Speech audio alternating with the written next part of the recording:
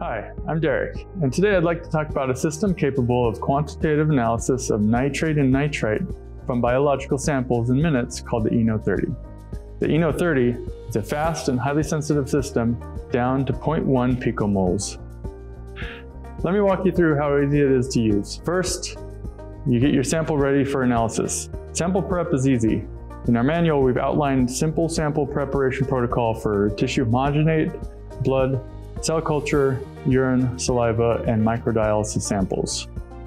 Samples are injected into the ENO-30 with a manual injector shown here, or with an autosampler for, for laboratory automation. Once injected, nitrate and nitrite are separated by an HPLC separation column. Once separated, nitrate is reduced to nitrite, forming two separate nitrate compounds. Then, the separated nitrites are mixed with a Griess reagent to form an azo dye, which is then detected by absorbance at 540 nanometer wavelengths. In 10 minutes, you will be able to, to detect both nitrate and nitrite from a single injection. The ENO-30 combines HPLC with colorimetric analysis.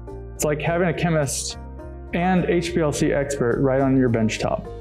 We've optimized the conditions to take away the guesswork and made the system straightforward and easy to use. At Amuza, your success is our priority.